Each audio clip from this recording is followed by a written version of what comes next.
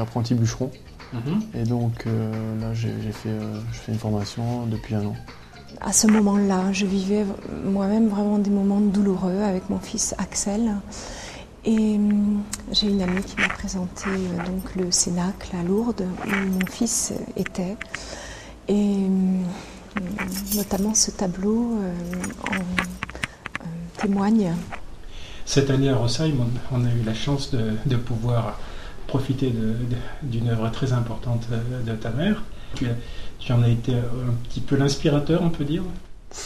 Enfin, je, je pense, oui, pour, pour ma mère, ouais, je pense que ça a été, euh, enfin, ça a été euh, primordial. Je dirais le passage, euh, enfin, ce que j'ai vécu, et euh, elle s'en est inspirée, bah, c'est sûr.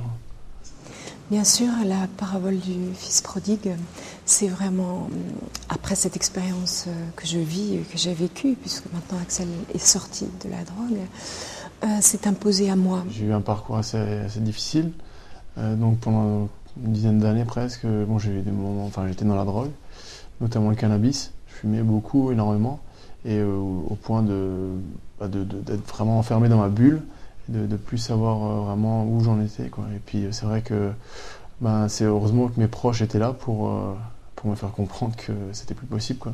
Et pour en l'occurrence me mettre dehors. Axel, euh, c'était hum, très très douloureux. Nous l'avons euh, chassé par trois fois de la maison. Sinon, euh, je pense que j'aurais, jamais pu euh, m'en sortir, quoi. Notamment euh, l'aide de mon père qui, un jour, m'a, dit "Écoute, Axel, là, c'est plus possible. euh, Je te, je te mets dehors, quoi." Mais ça s'est passé plutôt "Écoute, euh, maintenant tu dégages." Bon, mais c'était, euh, il y a toujours l'espoir parce que mon père il m'aime et même même dans les moments les plus difficiles, euh, j'ai, senti son amour et euh, je savais qu'il m'aimait. Et il m'a, quand même tendu une perche il m'a dit "Voilà, euh, t'as une chance."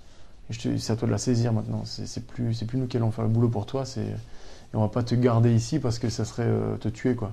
Euh, quand, on est, drogué ou quand on prend une substance et qu'on est emprisonné là-dedans, on, on se rend pas compte qu'on fait du mal autour de soi et on se rend pas compte qu'on qu'on va pas bien quoi. On pense que tout est bien, qu'on fait l'autruche quoi.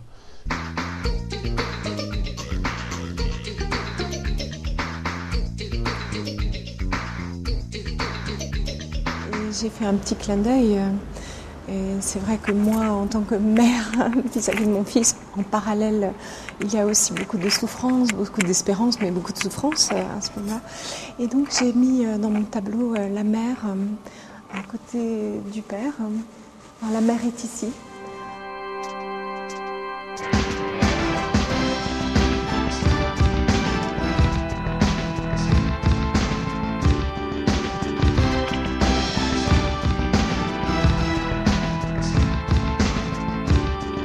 C'est vraiment sa parole qui m'a qui a fait que euh, ça m'a ouvert les yeux quoi. Je me suis dit là, t'as plus de chance, c'est maintenant quoi. Sinon c'est fini quoi, t'y arriveras pas quoi.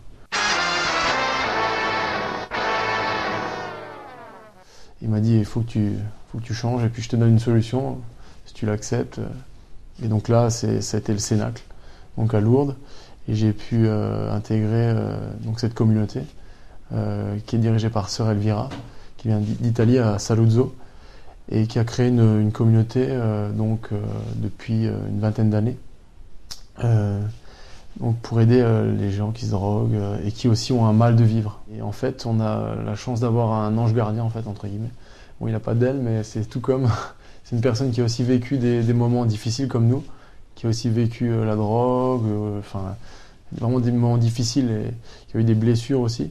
Et donc il, il est là, il s'en est sorti donc et il est encore en communauté pour euh, nous aider en fait à pouvoir, euh, à pouvoir euh, tenir bon. Tu as souffert à cette époque-là? Ouais, je pense que j'ai souffert, mais je. Enfin, bien sûr que j'ai souffert, mais je. Voilà, je- j'essayais de, de, de pas souffrir en me droguant. Enfin, c'était, bizarre, quoi. Dès que je, dès que j'éprouvais une difficulté, bah, je, fumais, euh, soi-disant ça allait, ça m'aider à, la, passer, et en fait ça me, ça me, je reculais encore plus à chaque fois, mais sans m'en rendre compte euh, sur le coup. C'est que après, que, quand, quand j'arrêtais pendant une certaine période, je me disais putain mais je suis complètement, je suis à côté de mes pompes là, je, je, me sentais complètement, enfin vraiment mal quoi, dans la tête surtout. Pas physiquement, peut-être physiquement ça se voyait pas trop, mais c'était dans la tête, c'était psychologique. Et ça le pire je crois. Et c'est vrai que là, je, je me sentais déjà pas jugé, enfin, même si les gens me jugeaient peut-être pas, mais moi j'avais l'impression qu'ils me jugeaient.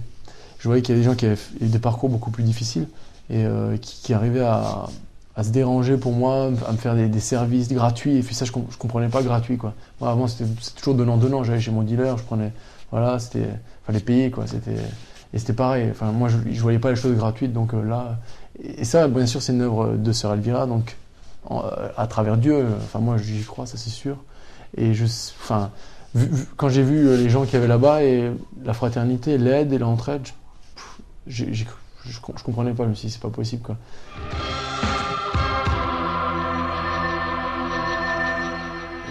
c'est vraiment un miracle. Le tableau qu'elle a fait sur le Sénat, que j'ai beaucoup aimé, avec tout le monde qui était représenté. Bon, elle l'a mis en grand, moi ça m'a un peu gêné. quoi.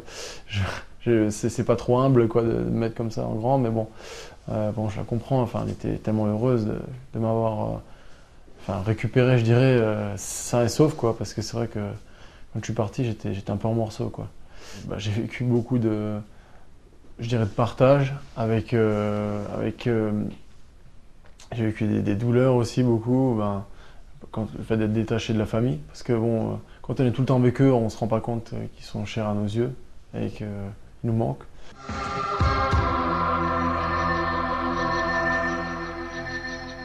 Si on, va bien, ça, se voit, mais si on va pas bien, ça se voit aussi. Et là, euh, tout de suite, on, aide la personne qui va pas bien. On lui demande euh, est-ce que ça va bien, ainsi de suite. Et on essaie de l'épauler tout le temps et, on est toujours avec lui, quoi. Et si ça va pas, on, essaie de, parler, quoi. Et c'est beaucoup, beaucoup de dialogue, beaucoup de dialogue. Énormément. Ce que, ce que j'avais pas avant, j'avais presque pas de dialogue, quoi. On se pose des questions sur, nous-mêmes. Et avant, c'était plus on jugeait les autres, euh, moi, hein, personnellement, hein, c'est plus joie, lui, il est comme ça, c'est nul. Mais moi, moi, concrètement, moi, qu'est-ce que je suis Et c'est plutôt des questions comme ça. On, se regarde soi-même. Et ça, c'est un travail que j'avais jamais fait. Et j'ai beaucoup grandi aussi, je pense. J'ai fait euh, un travail sur moi-même euh, assez impressionnant. Je m'étais jamais remis en question comme ça, quoi. Et euh, pourquoi, euh, pourquoi j'ai fait ça, pourquoi, euh, plein de questions et des réponses aussi. Axel m'a dit qu'il a vraiment ressenti euh, une grande lumière et quelque chose d'extraordinaire par rapport à cette femme.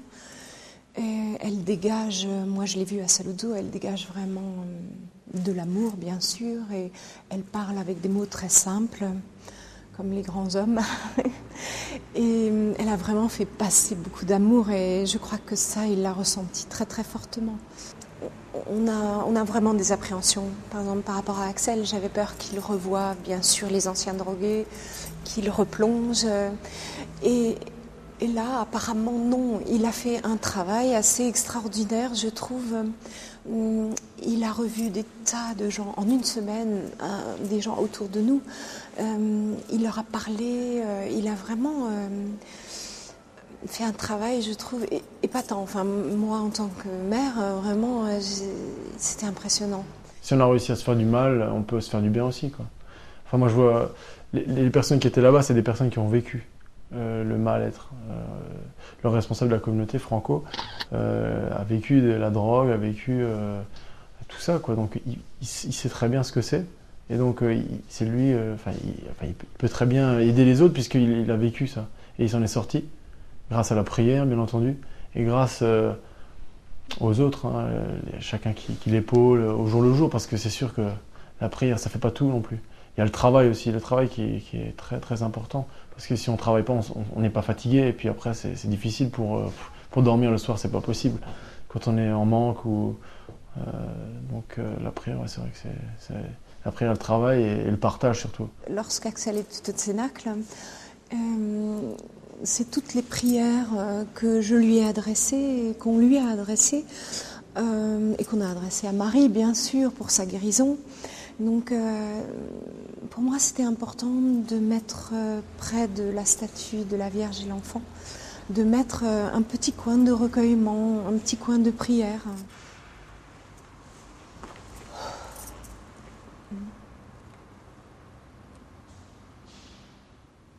Et j'ai eu d'abord euh, l'idée de faire des petits bols en, tissu, tout simplement, euh, qui sont comme des moulins à prière. J'ai fait cette analogie. Et après, euh, la terre a pris le dessus. Donc j'ai fait ces petits bols en terre à chaque fois pour recueillir et offrir, faire une offrande à Marie. Oh, je savais qu'elle priait, mais bon, c'était assez vague pour moi. Je, pense que ces tableaux, c'est une prière aussi. Chaque tableau qu'elle fait, c'est une sorte de prière à sa façon. C'est peut-être pas un jeu vous salue Marie comme ça, euh, euh, récité euh, ou, penser avec le cœur, mais c'est mettre en, lumière, je dirais, ce qu'elle ressent et c'est une prière, je pense, tous ces tableaux, parce que je pense que c'est un don qu'elle a et, qu'elle exploite à merveille. Je pense que s'accepter soi-même, ça, ça, ça change tout. Ça change tout, absolument tout, parce que si, si on, si on va contre soi, c'est une lutte. Hein. Déjà, la vie est dure, mais si déjà on se met encore des bâtons dans les roues, pour avancer, c'est plus possible.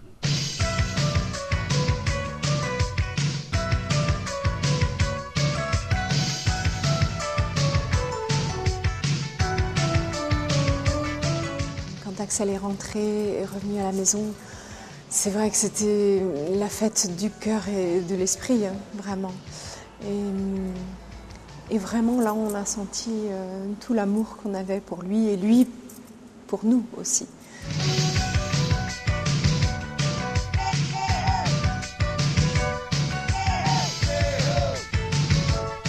J'avais de là beaucoup de joie, mais euh, j'avais aussi des craintes parce que y avait le monde euh, qui m'attendait.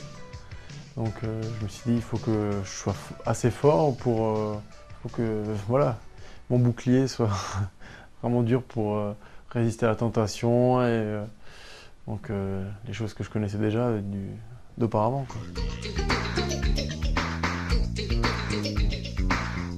Beaucoup de joie et je me suis dit, pour une fois, ils sont, fiers de moi.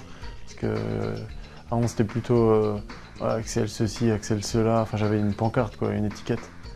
Et ils étaient mal vus, enfin, pas mal vus, mais je, enfin,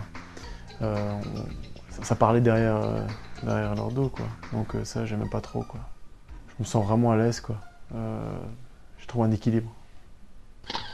Avant, je me rendais pas compte qu'il y avait, enfin, il y avait l'esprit de famille, mais pour moi, il était, j'arrivais plus à, c'est comme si j'avais loupé la barque. J'étais, j'étais plus dedans, quoi. J'étais un peu naufragé. J'arrivais plus à, la mer m'avait poussé au loin. Et là, je, là, je suis dans la même barque que, que ma famille, que mes amis. je, me sens vraiment dedans, quoi, dans, dans le réel. Avant, j'étais dans l'irréel, dans, les choses. C'était, un peu une utopie. C'était vraiment un conte de fées. Enfin, moi, j'étais dans mon, dans mon monde, quoi, dans une bulle. Et là, vraiment, je, sens que j'ai les pieds sur terre. Avant, j'existais peut-être, mais euh, je gueulais beaucoup. J'étais, c'était pour me faire, je criais pour me faire entendre. Quoi. Maintenant, j'ai, plus besoin de, de, ça. Je pense que euh, j'ai, j'ai ma personne vraiment bien ancrée. Quoi. Euh, voilà, c'est j'ai pas, j'ai plus à prouver quelque chose. Je, sens que c'est, voilà, j'ai moins de stress, moins de, je me prends moins la tête quoi. Je suis plus cool. Moi, j'ai changé, c'est pas parce qu'on m'a dit il faut que tu fasses ça, tu dois, parce que j'aurais pu euh, partir et vivre, euh, voilà, sous les ponts, j'aurais pu, mais je voulais pas ça. Je voulais vraiment changer, je voulais être quelqu'un de bien, parce que je me sentais vraiment mal quoi. Et, je l'ai accepté, donc j'ai fait un, c'était 50-50 quoi. On m'a tendu la main, mais je, je l'ai quand même tenu cette main. Tandis que, bon, il y a des gens qui. C'est difficile, ils ne veulent pas d'aide. Mais des gens euh, qui j'ai essayé d'aider, il, y en a quelques-uns qui, sont arrivés. Je, vois que la vie en ce moment nous, pourrit, même moi quand je suis nous pourrit entre guillemets, de, choses inutiles. Et c'est dommage parce que ça, nous met dans une, ça nous met dans un cocon et on n'arrive pas à, s'apprécier les uns les autres, à, notre juste valeur et aussi nos faiblesses. Dès qu'on a une faiblesse, on, le pointe du doigt et ainsi de suite. Moi, je sais que j'en ai plein des faiblesses, mais j'essaie de les accepter et, ça, c'est dommage parce que dans la société, là, on, essaie de, de, trop nous enfoncer, d'être un stéréotype, le, meilleur, le, avoir le meilleur salaire, être le, le plus beau. bon. Et des fois, je crois que c'est dommage parce qu'on ne se rend pas compte des richesses qu'on nous a données. J'ai appris pas mal de choses comme ça.